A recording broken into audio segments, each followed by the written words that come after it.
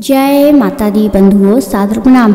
इस वीडियो में हम आपको बता रहे हैं कर्क राशि के राशिफल के बारे में।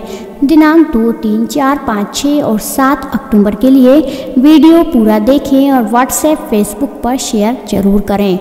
आज आपसे हमारा एक विशेष अनुरोध है। हमारी बहन का एक और यूट्यूब चैनल है, जिसका नाम जलपरी है। हमने उसकी लिंक डिस्क्रिप्शन बॉक्स में और कमेंट बॉक्स में दी है।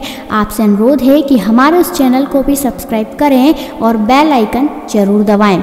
इन दिनों की शुरुआत में चंद्रमा आपकी कुंडली के चौथे भाव में गोचर करेगा। इस समय आप घरेलू जरूरतों पर खर्च करेंगे। आप वाहन खरीदने की योजना भी बना सकते हैं। अपनी माँ के प्रति आपका प्यार बढ़ेगा।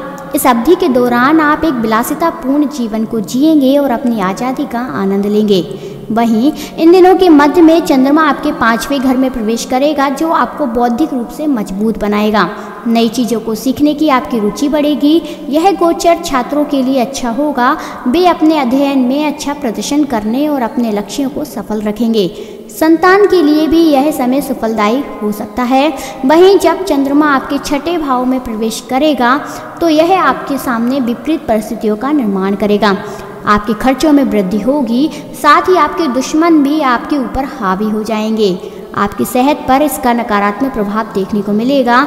इसके अलावा आपको इस समय आर्थिक समस्या का सामना करना पड़ सकता है।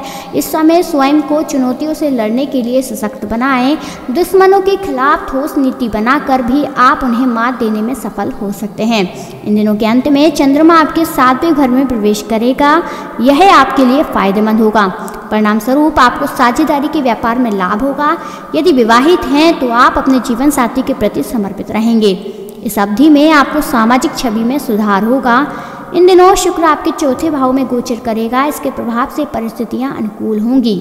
आप एक शानदार जीवन व्यतीत करेंगे। और परिवार के सदस्यों के साथ कीमती समय भी बिताएँगे। इस दौरान आप घरेलू गतिविधियों में व्यस्त रह सकते हैं। कमेंट बॉक्स में जय माता दी ज़रूर लिखें और एक शेयर ज़रूर करें। ईश्वर आपकी हर मनोकामना को पूरी करे। जय माता दी।